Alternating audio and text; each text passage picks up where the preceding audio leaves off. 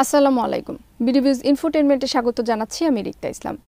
আধুনিক যুদ্ধের ভয়ঙ্কর এক উপকরণের নাম সাবমেরিন। অনেকে বলেন ডুবোজাহাজ পানির নিচে নিঃশব্দে গোপনে যে শত্রুর ওপর নজরদারি করে। পারমাণবিক মিসাইল, টর্পেডো আর শতাধিক ক্রু নিয়ে এই আন্ডার ওয়াটার ভেসেলটি ঘুরে বেড়ায় সমুদ্রের তলদেশে। পানির নিচ থেকেই হামলা করতে পারে জল, স্থল, এমনকি আকাশেও। আবার বেসামরিক কাজেও রয়েছে সাবমেরিনের প্রচলন। সাবমেরিনের উৎপত্তি, পরিচালনা পদ্ধতি, যুদ্ধ করার ক্ষমতা সহ এই নৌযানের নানান দিক সম্পর্কে আর জানাব আজ। প্রতিবেদনটি তৈরি করেছেন আহমেদ বায়জিদ।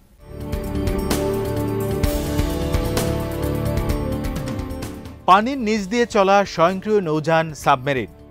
বাইরের দুনিয়ার সাথে কোনো ধরনের যোগাযোগ না রেখেও এটি অনেকদিন থাকতে পারে সাগরের তলদেশে। আজকের দিনে যে কোনো দেশের নৌবাহিনীর শক্তিমত্তার প্রতীক এই সাবমেরিন। এর প্রযুক্তি, যুদ্ধ করার ক্ষমতা, আকার ও পানির নিচে সার্ভাইভ করার ক্ষমতা বৃদ্ধি পাচ্ছে।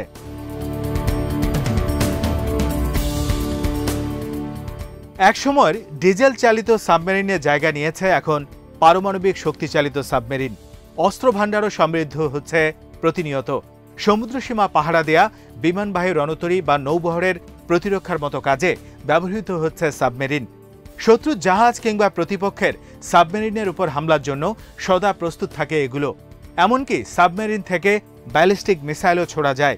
উড়ন্ত বিমান লক্ষ্য করে ক্রুজ মিসাইল ছুটতে পারে সাবমেরিন।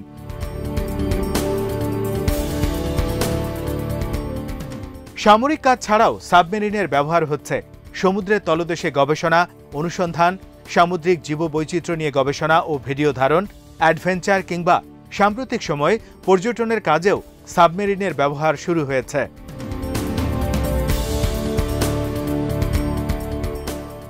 আধুনিক সাবমেরিনের ইতিহাস খুব বেশি পুরনো না হলেও ষোড়শ শতাব্দীতে এ ধরনের সমুদ্রযানের কথা প্রথম উল্লেখ করেছিলেন ইংরেজ গণিতবিদ উইলিয়াম বোর্নি।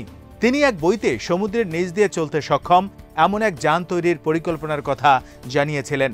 তবে ষোলোশো সালে প্রথম পানির তলদেশ দিয়ে চলাচল করতে সক্ষম যান আবিষ্কার করেন ডাচ ইঞ্জিনিয়ার ও উদ্ভাবক কার্নেলিস ড্রেবল।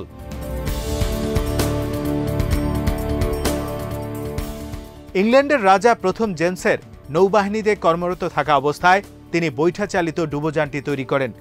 কাঠের কাঠামোর উপর চামড়া দিয়ে এটি তৈরি করা হয়েছিল। কয়েক মিটার গভীরে চলতে পারত এই যানটি। এরপর এই ধারণাটি নিয়ে ব্যাপক কাজ শুরু হয় ইঞ্জিনিয়ারদের মাঝে।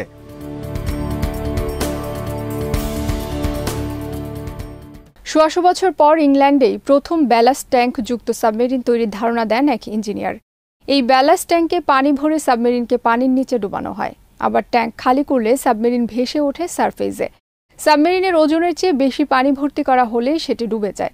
আঠারোশো চৌষট্টি সালে আমেরিকান গৃহযুদ্ধের শেষ দিকে কনফেডারেট নেভির সাবমেরিন এইচ এল হানলি প্রথম কোনো শত্রু যান ডুবিয়ে দিতে সক্ষম হয়। অবশ্য, সাবমেরিনটিও ডুবে গিয়েছিল সেই কাজ করতে গিয়ে। গান পাউডার বোঝাই করে বানানো টর্পেডোর বিস্ফোরণের শক ওয়েভ সামলাতে পারেনি সেটি।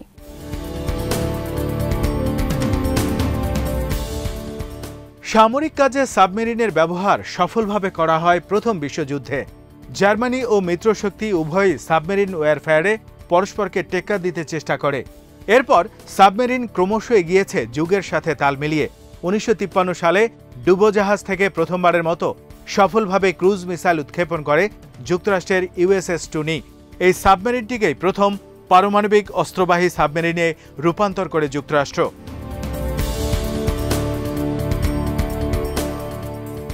পঞ্চাশের দশকের শেষ দিকে ডিজেল ইলেকট্রিক সাবমেরিনের বদলে পারমাণবিক শক্তিচালিত সাবমেরিন সাগরে নামতে শুরু করে। একই সময়ে সমুদ্রের পানি থেকে অক্সিজেন নিঃসরণের প্রযুক্তি আবিষ্কার হয়, যে কারণে সাগরে তলদেশে মাসের পর মাস থাকা সম্ভব হয় সাবমেরিনের পক্ষে।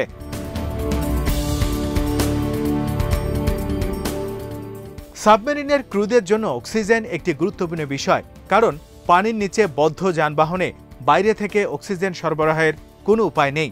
প্রথম দিকে সিলিন্ডার ব্যবহার করে অক্সিজেন সরবরাহ করা হতো, যে কারণে অল্প কয়েকদিন পরেই সাবমেরিনকে সারফেসে উঠে আসতে হতো।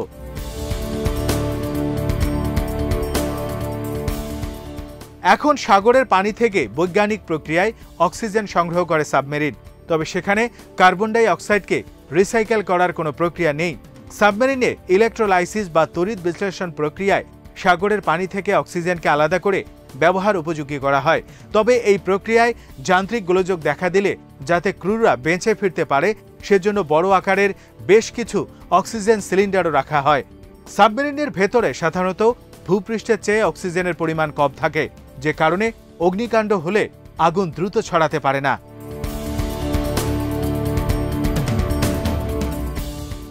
যেহেতু বেঁচে থাকার প্রশ্ন, তাই সাবমেরিনে অক্সিজেন সরবরাহের বিষয়টি অত্যন্ত কঠোরভাবে মনিটরিং করা হয়। প্রতি মুহূর্তে দক্ষ টেকনিশিয়ানরা বিষয়টি তদারকি করেন। ক্রুদের নিঃশ্বাসে যে কার্বন ডাই অক্সাইড নির্গত হয়, সেটিও সাবমেরিন থেকে বের করে দেওয়া হয় বৈজ্ঞানিক পদ্ধতিতে। এজন্য ব্যবহার করা হয় অ্যামাইন নামের এক ধরনের রাসায়নিক পদার্থ। এই রাসায়নিকটি কার্বন ডাই অক্সাইড শুষে নিয়ে বাইরে বের করে দেয়। এই রাসায়নিক থেকে হালকা একটি গন্ধ বের হয়। সেটিকে অবশ্য সহ্য করতে থাকতে হয় সাগরতলের নাবিকদের। এছাড়া সাবমেরিনের রান্না অন্যান্য কাজে ব্যবহারের জন্য সাগরের পানিকে লবণমুক্ত করে ব্যবহার করা হয়।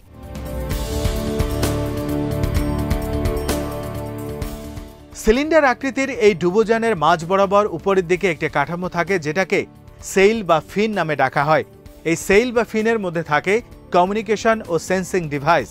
সাবমেরিন থেকে পানির উপরিভাগ দেখার জন্য এখানে পেরিস্কোপও থাকে।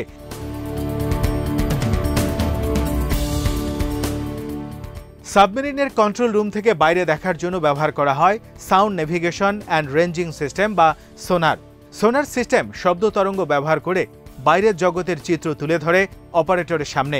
একই পদ্ধতিতে সাবমেরিন থেকে টার্গেট চিহ্নিত করা হয়। এছাড়া পানির উপরিভাগে ভাসমান জাহাজ ও আকাশে থাকা বিমান চিহ্নিত করার জন্য সাবমেরিনে ব্যবহৃত হয় কয়েক ধরনের সেন্সর। আর কন্ট্রোল রুমের সাথে যোগাযোগের জন্য থাকে ভারী লো ফ্রিকোয়েন্সি বা এক্সট্রিমলি লো ফ্রিকোয়েন্সি রেডিও তবে জরুরি প্রয়োজন ছাড়া এই রেডিও ব্যবহার করা হয় না।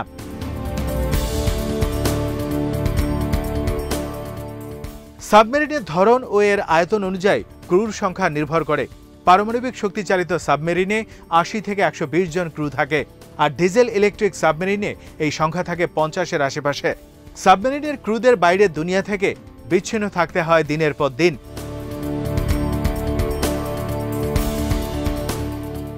নিরাপত্তার কারণে এই যানটি রেডিওর সাহায্যে কন্ট্রোল রুমের সাথে খুব একটা যোগাযোগ করে না। সাবমেরিন চালানো সবসময় একটি বিপজ্জনক কাজ হিসেবে পরিচিত। কারণ, কোনো যুদ্ধ পরিস্থিতি ছাড়াও যান্ত্রিক গোলযোগের কারণে পৃথিবীতে বহু সাবমেরিন দুর্ঘটনায় প্রাণহানি হয়েছে ক্রুদের।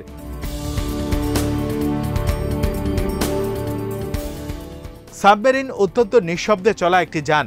এর ইঞ্জিন ও অন্যান্য সিস্টেম খুবই কম শব্দ উৎপন্ন করে।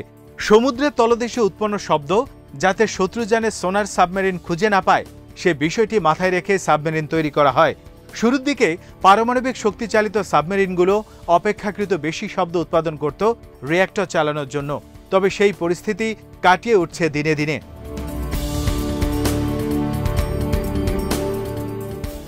বর্তমানে বিশ্বের ছয়টি দেশ পারমাণবিক শক্তিচালিত সাবমেরিন ব্যবহার করে। আগের দিনের ডিজেল ইলেকট্রিক সাবমেরিনের বদলে এই সাবমেরিন একটানা পঁচিশ বছর চলতে পারে কোনো রিফুয়েলিং ছাড়াই। যে কারণে জ্বালানি নেয়ার জন্য ওপরে উঠে আসতে হয় না। নিউক্লিয়ার রিয়্যাক্টরের মাধ্যমে এই সাবমেরিনগুলোতে শক্তি যোগান দেওয়া হয়। ইঞ্জিনের শক্তি ছাড়াও সাবমেরিনের ভেতরের অন্য সব কাজ যেমন অক্সিজেন জোগাড় করা, বিদ্যুৎ সরবরাহ ও মিসাইল ছাড়ার জন্য শক্তির যোগান দেয় এই রিয়্যাক্টর একজন ক্রুকে এই বিষয়টি তদারকি করতে হয়।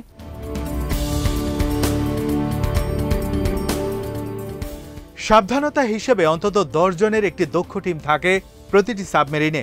এছাড়া ডিজেল ইলেকট্রিক সিস্টেমও রাখা হয়, যাতে কখনো নিউক্লিয়ার রিয়্যাক্টর অচল হয়ে গেলে সাবমেরিনটি টিকে থাকতে পারে।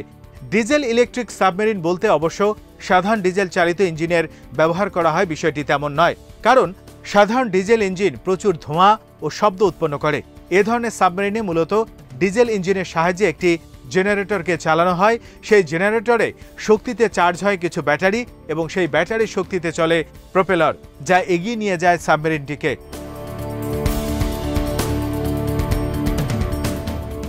পারমাণবিক সাবমেরিনে বেশ কয়েক দফা দুর্ঘটনার ইতিহাস রয়েছে।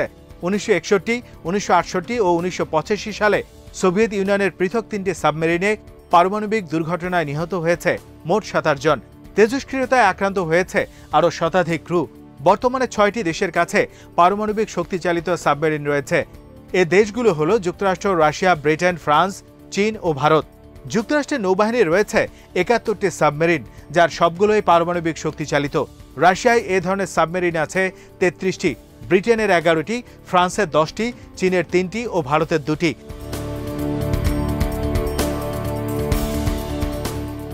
এগুলোর মধ্যে যুক্তরাষ্ট্রের ওহিও ক্লাস, রাশিয়ার টাইফুন ও ডেল্টা বোরেই ক্লাস, চীনের type zero nine four submarine ballistic missile ছুটতে পারে।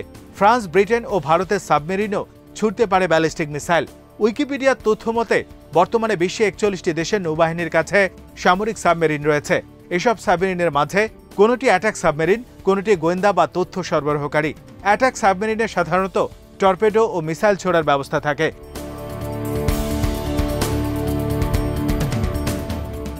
রাশিয়ার গোয়েন্দা সাবমেরিন লোসারিক আট হাজার দুইশো ফুট পর্যন্ত পানির নিচে পৌঁছতে পেরেছে এখন পর্যন্ত। তবে সাধারণত সাবমেরিনের পানির গভীরে পৌঁছানোর ক্ষমতা আরও কম হয়। রাশিয়ার টাইফুন ক্লাস ও যুক্তরাষ্ট্রের লস অ্যাঞ্জেলেস ক্লাস সাবমেরিন যেতে পারে তিন হাজার ফুট গভীরে।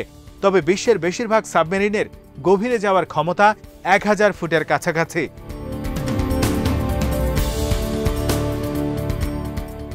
আজ এখানেই শেষ করছি।